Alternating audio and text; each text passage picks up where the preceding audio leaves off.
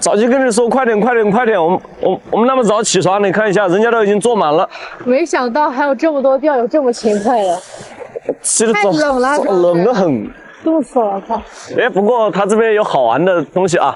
他这边呢，我们不需要带鱼护，已经是安装好了自动的一个回鱼一个系统。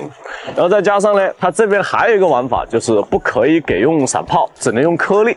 那么我们先去抽号，它这边是抽号的，然后我们先先去抽号，然后准备一下。走走走走走，快点快点快点！这管道感觉好。呃，这个呢是他们的一个回鱼系统，它这里是一个回鱼的管道，我们每个位置对接的鱼呢会直接流到这个里面来，然后被集中回收，啊，这种就比较少见啊。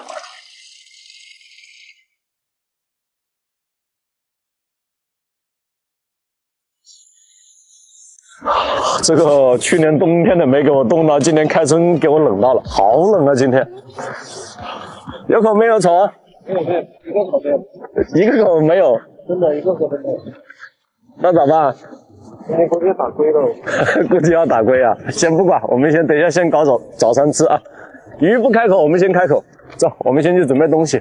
早上这边来的比较早，但是他衣服穿的比较厚。哎，我这边抽的这个位置十一十一号啊，十一号位，十一号位。哦，在这里搞秘密配方的，你看他们都已经来的来的早的都搞好了。窝打了没有？打过了。哇，窝都打好了。十一号在你旁边啊。哎呀，这个冻料呢，还是我在草王那边打结的啊。我这起的太早了，连冻冻料都没有。一份干味，一份腥味。它这里的一个罗非的个体呢，就是在呃，听听他们讲啊，一斤到一斤半左右。那么等于说打腥味就行了。但是这个东西啊，去抢人，但是这个东西啊，去抢人家料，哪里还有挑三拣四的，对吧？那就一份干味，一份腥味。嘿，今天好，散炮都不用开了。那么这里呢，还有去年胡子成大哥留下来的一点虾粉啊，东拼西凑都是。然后加一些虾粉进去，因为刚才说了，这个罗非呢，它是属于一个小个体的，所以还是比较偏腥一点。然后我们呢，再给它加小药，主味型还是一样的，选择凤梨啊。它这边有老鱼有新鱼，我凤梨也不加多，加个二十滴左右。然后呢，加淡奶，一二三四，呃，淡奶呢一样的，加个二十滴左右。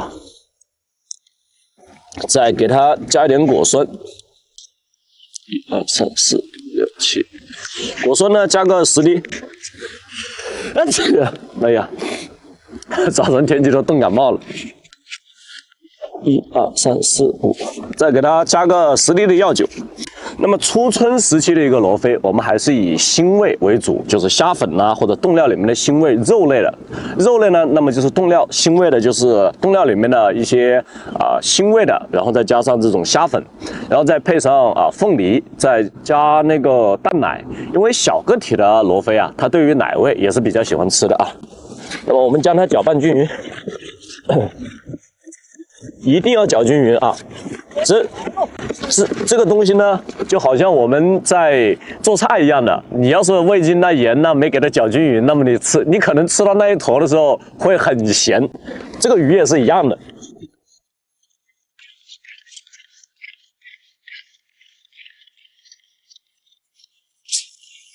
那么这冻料呢，我们已经打的差不多了。接着将赤尾青加进去。赤尾青呢，它是一种冰鲜鲜虾味，也也是带一点腥，但是主要呢，赤尾青是鲜味。那么我们加到冻料里面的原因呢，冻料它的一个比重是比较大的，饵料的密度也比较大。加一些赤尾青进去，就类似于像像像啊青肤啊雪花粉之类的，去调节它的一个饵料的一个状态，让它的一个状态呢啊达到蓬松，然后比重比较轻。瘦尾青我们一般的都是后将冻料的状态打的差不多了，在后期给它放进去，放进去打，因为它本身就是调节状态的东西。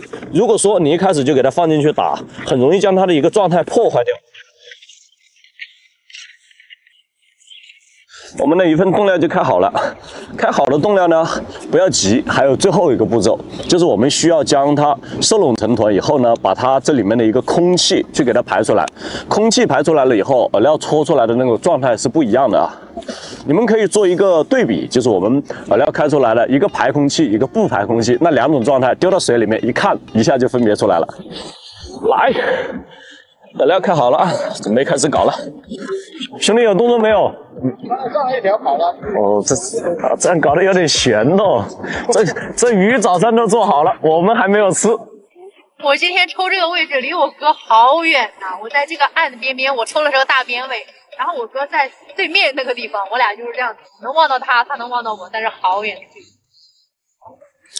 我这边就准备开始钓啊，钓的呢是搓饵，然后甘蔗选择的是一只 7H 的西马诺自采，主线呢先给它上个2.0嚣张一点，子线上零三的一个 P1 线，浮漂吃铅呃两克左右，条目呢我选择是调一个六目，去钓个三四目左右的样子，反正窝呢就是这样的啊，抛一竿打一下，这没什么太大的一个讲究。这罗非这个没有散炮，就感觉到打的没有灵魂了啊。但是我们今天呢，就专门针对这种颗粒的打法去钓一期。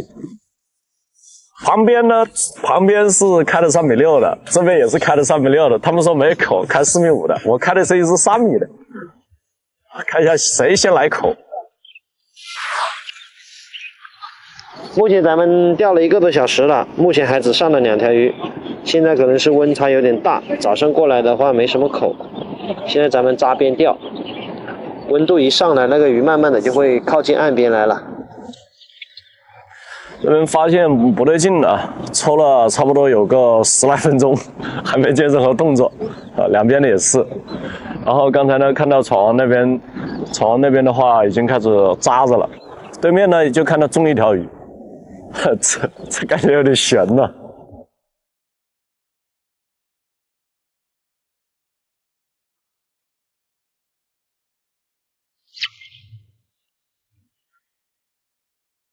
哦，靠！终于打中了第一尾鱼啊！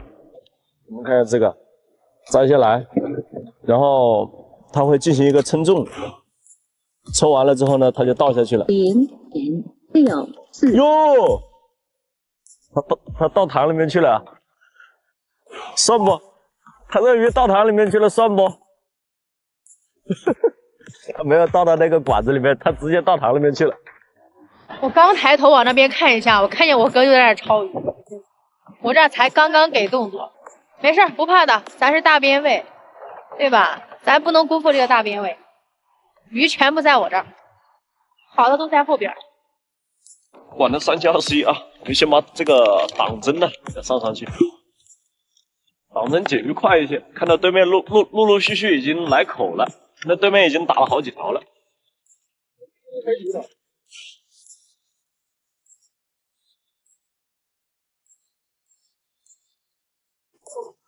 哇，这个大！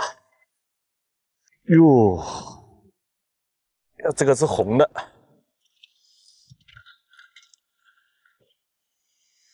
就感觉这个口啊，很明显的有点出不来。看一下这个多重一点零八斤，啊，一点零八斤啊，这一条。嗯，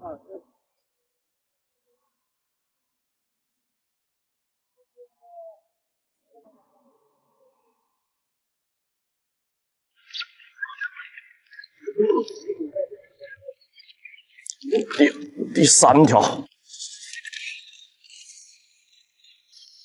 这个体还可以，我刚才看到他们飞的那种半斤的，然后我那一九呃一一斤四两，然后第一条的话就六两半斤的，呃窝里面有鱼了啊。那么我们这个捕窝呢，就可能跟散炮不一样了，就是一小把的一个颗粒给它撒下去。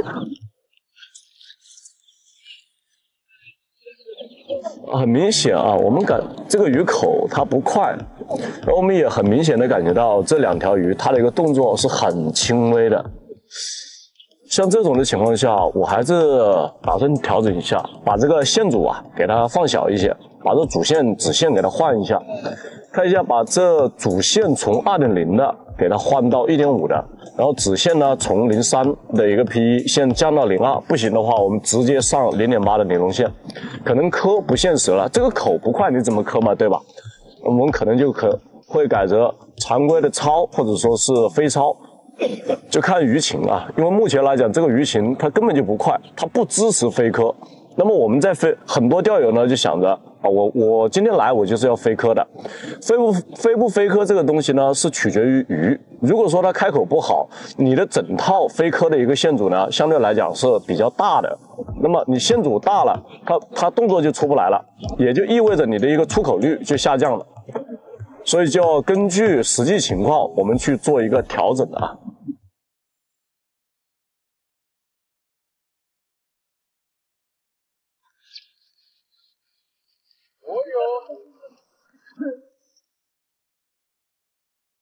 哎呦，第四条哦，难哦。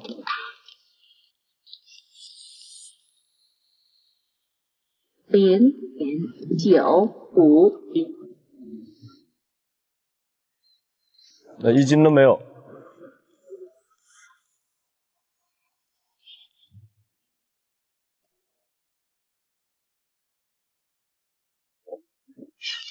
这边呢，换一下线呢。因为刚开始的这个线呢是二点零的，现在我换了一个一点五的线。漂刚才两克多的，直接现在换到了一一点几克多的。子线呢，同样的，直接给给它降下来了。这直接是上了一个零二的一个 P，先给它往下面降一降号，看一下杆子没换。我我还是想飞，如果说鱼情可以的话飞，如果实在不行，我就换一支软杆慢慢摸啊。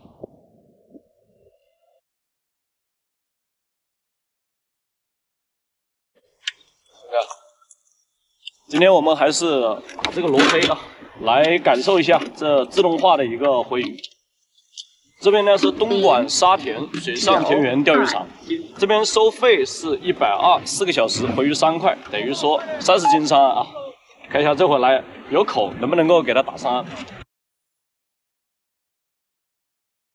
我们打这种不能带散炮的，那么节奏就是这样的：这一杆一抛下来，好，杆放这里，马上一小撮一点点是颗粒，就丢到你漂的那个落点下去。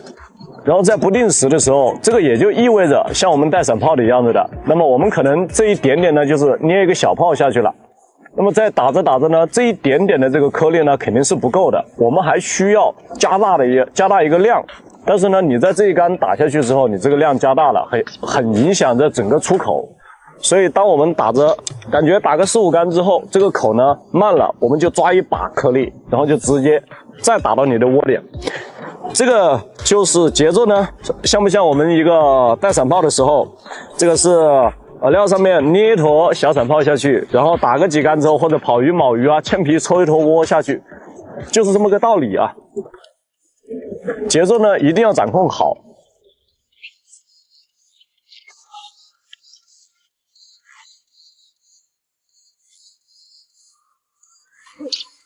看到没？哎呦！到位就中鱼了，所以说节奏就是这个样子的。哪怕说我们是摸鱼，慢慢摸，也是一样子的，也要去掌控节奏。快鱼有快鱼的节奏，慢鱼有慢鱼的节奏啊。这个怎么黑不溜秋的这条？来吧。什么情况了，星星？我这边吧，哎呦，呦，这边不是太不是太好这会儿。因为刚开始的时候用的是零三的 PE 线，零三 PE 线它出口不好，就是出口很慢很慢的。完了我换了个零八的尼龙线，换了之后吧是有口了，但是它老是切，切两步了已经。可能是我不会遛鱼，回头要跟我哥再学习一下怎么用这个小线遛罗非呀，不然它老是切。刚才就是跑到已经就是那种煮熟的就到嘴的鸭子飞了，你知道吗？到边上跑了。还是遛鱼手法不对呀。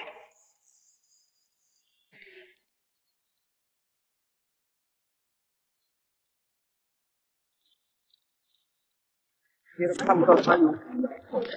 你看不到口是吧？这个季节的罗非口就是这样的，我现在还在等呢，现在是还在等。你等就没了，等。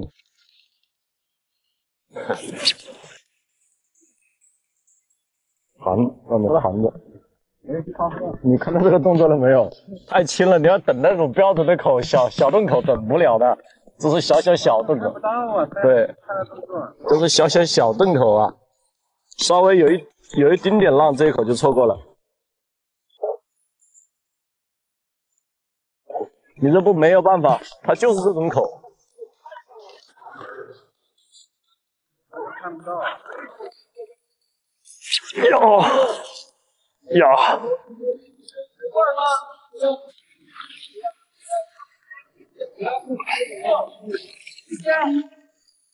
不吃，在旁边看。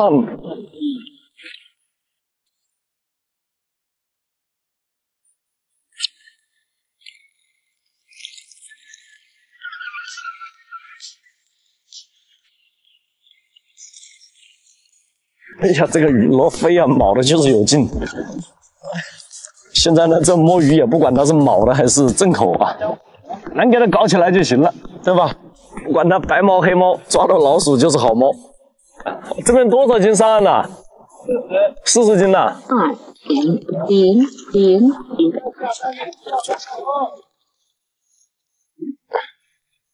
就是一百二，四四个小时回鱼三块是吧？对。哦，四十斤上岸了。哟，鲤鱼啊，一条鲤鱼啊！我今天就是前面说那个问题呢，就是因为有它，有时候很多火箭口很重的口打不到，就是因为它啊。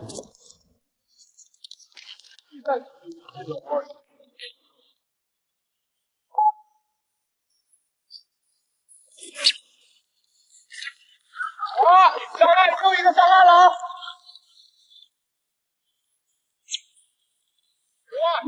黄口啊！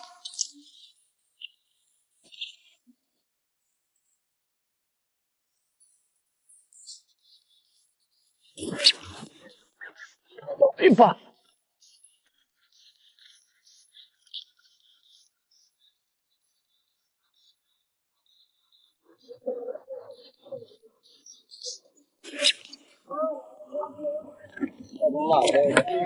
最痛苦的事情就是这样的，你到中了，他开口了。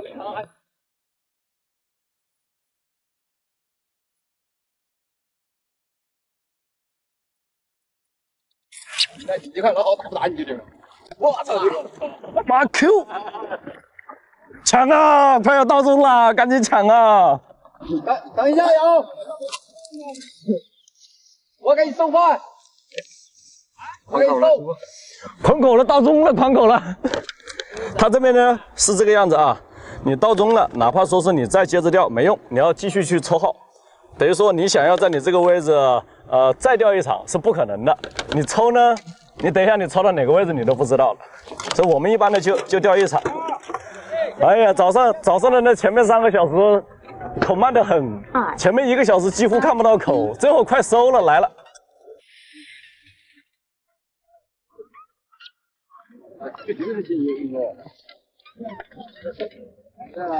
哦，这个是新的。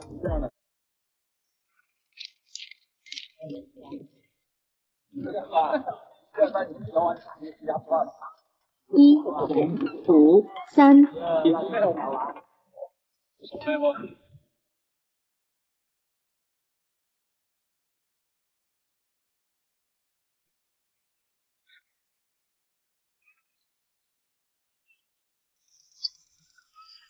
上飞不？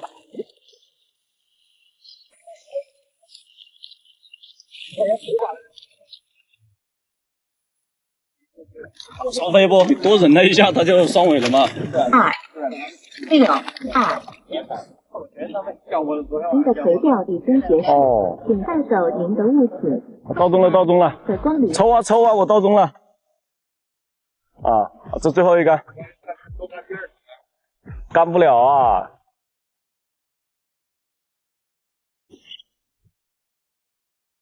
最后一杆就不准了啊，嗯嗯，到中了啊，手把就搬起来了。哎，于龙明，你看一下那个，还能不能抽。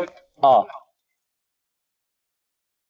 这是这是已经到中的最后一条啊，它这是智能化的，就是你到中了，你钓的鱼是没用的，它已经是不给你计数了啊。走吧。那么我们这边就已经结束了啊。从一开始呢，早上的那会口轻轻轻的点，轻轻的点，然后再到后面呢，这会新鱼开口了，窝子里面鱼多了。前面呢出现很多的一些起伏衬线的动作，现在呢它就开始已经出现那种本身在之前很轻的那种口打不到的那种口，而现在的它现在这个动作呢是可以去抓的，所以在后面呢呃打一些双尾的原因就在这里，因为前面在这种口我们。打的经常打不到，就导致一种惯性，在后面的话就不会去尝试打那个口。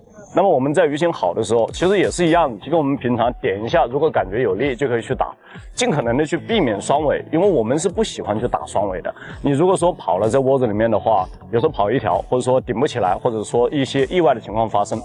那么这边的鱼货呢是五十五十三点几啊，就是四呃五十三点九四啊五十三点九四，等于说五十四斤。啊，四十斤上岸，那么今天也算是上岸了。来，东哥收。